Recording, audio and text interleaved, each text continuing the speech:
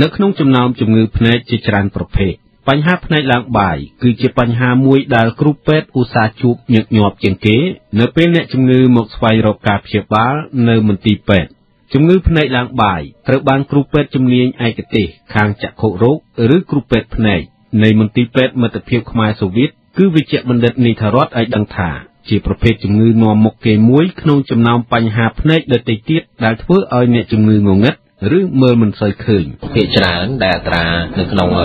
កម្មវិធីជាតិយើងក៏មានដែរគឺវាជាជំងឺទី1ដែលធ្វើឲ្យអ្នកជំងឺមានការរងឹតឬមកក៏យើងហៅថាជំងឺដែលមានការថយចុះនៅកម្ពើងខ្លាំងខ្លាតកតងនឹងមូលហេតុដែលបង្កឲ្យកើតជំងឺភ្នែកឡើងបាយលោកវិជ្ជបណ្ឌិតនីថារតឲ្យដឹងថាជំងឺនេះកើតឡើងដោយឯកឯងទៅតាមវ័យចាស់ជរារបស់យើងជាធម្មជាតិដែលមិនអាចបង្ការបានឡើយ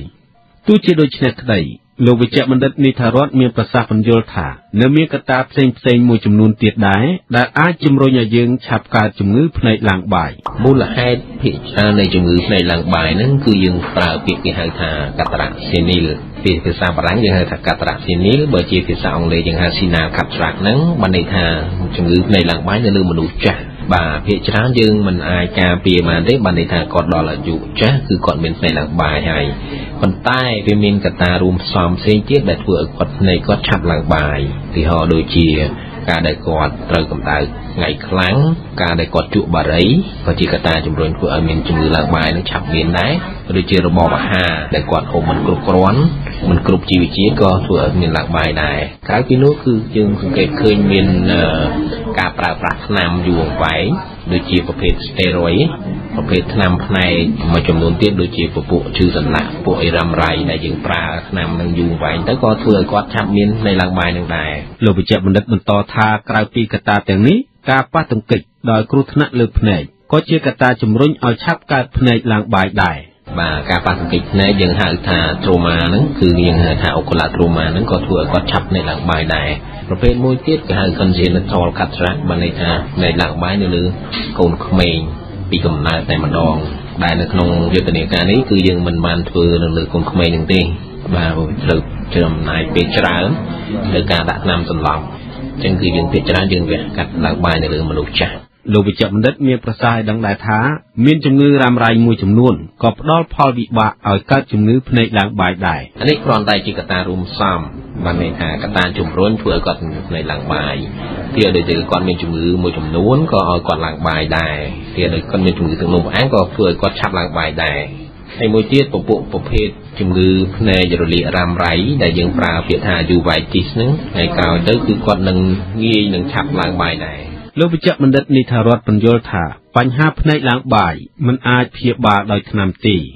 ក្នុងករណីមិនទាន់ធ្ងន់ធ្ងរគ្រូពេទ្យអាចឲ្យអ្នកជំងឺពាក់វ៉ែនតាជាបណ្ដោះអាសន្នសិនព្រោះវ៉ែនតាអាចជួយឲ្យអ្នកជំងឺមើលឃើញច្បាស់ជាងមុនដែរក៏ប៉ុន្តែលោកវិជ្ជបណ្ឌិតមានប្រសាសន៍បន្តថាការពាក់វ៉ែនតាមិនអាចជួយឲ្យអ្នកជំងឺមើលឃើញរហូតទេ គឺដល់ពេលវេលាកំណត់ណាមួយនោះការព្យាបាលបញ្ហាភ្នែកឡើងបាយនោះមិនអាចជៀសវាងការវះកាត់បានឡើយអំពីវិធីបង្ការជំងឺភ្នែកឡើងបាយដើម្បីបង្ការជំងឺភ្នែកឡើងបាយលោកវិជ្ជបណ្ឌិតនីធរតថ្លែងថាដោយសារតែបញ្ហាភ្នែកឡើងបាយកើតឡើងដោយធម្មជាតិយើងមិនអាចមានវិធីអ្វីអាចបង្ការបានទេ ក៏ប៉ុន្តែយើងអាចមានវិធីទប់ស្កាត់មួយចំនួនចំពោះកត្តាដែលជំរុញឲ្យយើងឆាប់កើតជំងឺនេះបានន័យថាបើសិនជាគាត់ជក់បារីគាត់គួរតែឈប់ជក់បារីទៅបាទបើសិនជាគាត់មានការហូបចុកមិនគ្រប់គ្រាន់គាត់ត្រូវតែរកអាហារហូបចុកឲ្យគ្រប់គ្រាន់ទៅហើយបើសិនជាគាត់ធ្វើការនៅក្រៅកម្ដៅហើយគាត់មានវិធីការពារដូចជាពាក់មួកឬមួយក៏ពាក់វ៉ែនតាអីចឹងទៅដើម្បីជួយបានខ្លះការពាក់វ៉ែនតាខ្មៅឬមួយវ៉ែនតាពណ៌ទឹកតែហ្នឹងគឺយើងជួយការពារផ្នែកបានមួយចំនួនមិនត្រឹមតែការពារផ្នែកឡើងបាយទេ គឺយើងការពារទាំងការប៉ះទង្គិចផ្នែកទៅទៀតគេហៅថាវាមានប្រសាប់ហោះមកបុកអីចូលភ្នែកបើសិនជាយើងមានវ៉ែនតា គឺវាអាចទប់មិនឲ្យសត្វហ្នឹងចូលក្នុងភ្នែកយើងបានទេអាហ្នឹងក៏ជាផលប្រយោជន៍មួយដែរ